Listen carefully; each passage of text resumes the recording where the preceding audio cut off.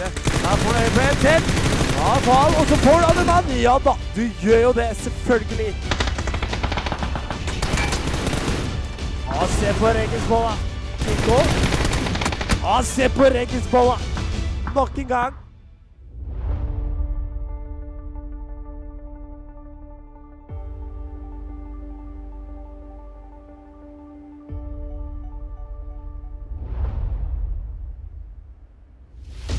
Til som pushet opp på, på Modern Vikings.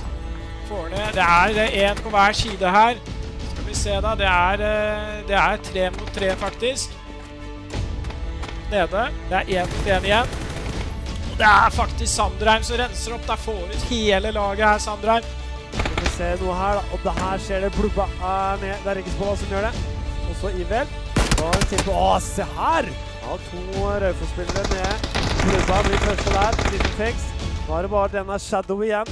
Han var fem mot igjen, og der var det hele over. Det er Raufoss øst. Bob og Bob. En nade vil du ut. Er det perfekt?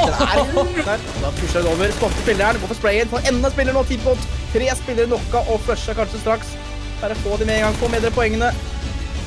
Nå ser jeg høyre på Boom her. Og du får ned én, du får ned to. Det blir TGO som faktisk tar den doble mot Team XA. Her kommer Pro TV. Tar, Pro TV tar ut uh, Noobs sitt boobs. Tar også Daisy Deeds. Tar også Hva er det som skjer? Du blir tatt ut. Ja da. Ditch. Og det er faktisk sånn Skal vi se her, som vi ser Ja, finner eh, bare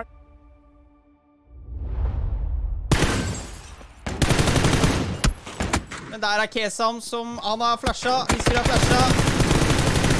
Oi, oi! Skal det være Oi, oi, oi!